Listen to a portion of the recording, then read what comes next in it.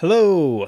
In this video I'm going to go over pulling focus. Now this video is going to be for people who are coming mostly from the digital realm and starting to encounter some of the analog tools and techniques that come from the, the world of cinematography.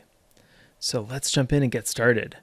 Let's see what we've got here. I've got three cameras set up and I've got a really shallow focus set up right now. And then when I hit play, I'm pulling focus to this foreground object.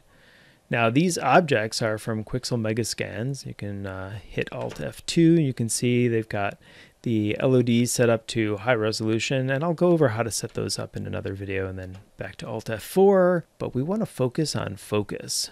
So what are the things that we need to know? Well, let's select the camera. The first thing that you want to know is you want to be able to set up your f-stops.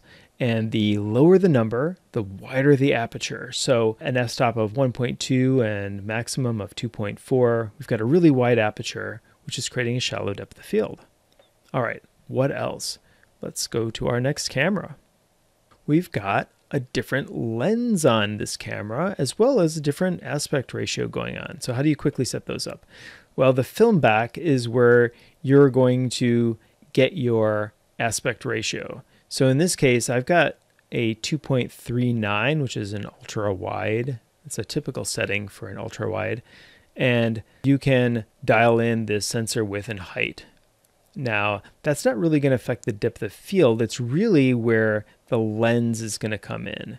Now, I've got a 50 millimeter on here, which is a moderately wide angle lens, which will give us a wider field of view.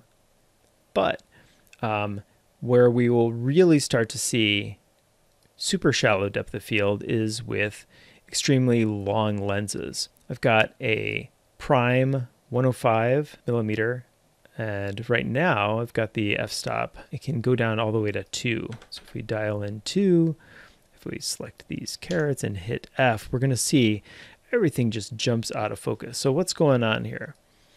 Well, we can use the draw debug focus plane. We can turn that on if we want. And you can see it's way off in the distance. And so we could use this picker to pick objects, like there's that bell pepper.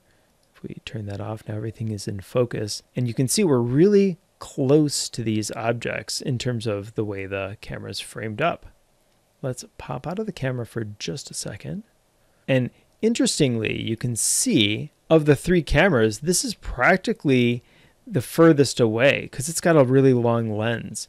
Um, but the further that I can push in, so the distance to subject matter really impacts your depth of field as well. So that's uh, if you ever get a real lens and you want to like push in on the subject matter to get that nice shallow depth of field. Okay, so let's pop in and let's just set up, pull some focus. So we've got the focus plane set on those carrots. Now we could go in here and let's just set some keyframes. So we'll just set the manual focus distance. We'll set a keyframe.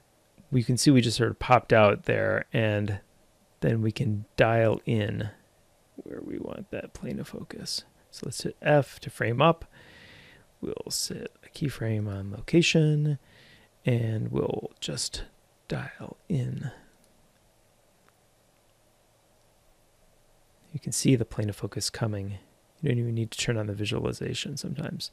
There we are. We're focused on the, the bell pepper now. Okay, great. So now we could move our camera and then we can also shift our manual focus distance. So let's do that first.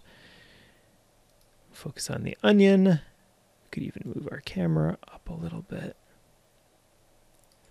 All right. Now when we scrub through, Eh, we've got the, we're pulling focus between the two vegetables. All right. Awesome. Well, that covers pretty much what I wanted to go over, which was pulling focus and the elements that relate to changing depth of field, which happen to be the f-stop, the distance from subject, as well as the length of lens that you're using. So that'll wrap things up. We'll see you in the next video.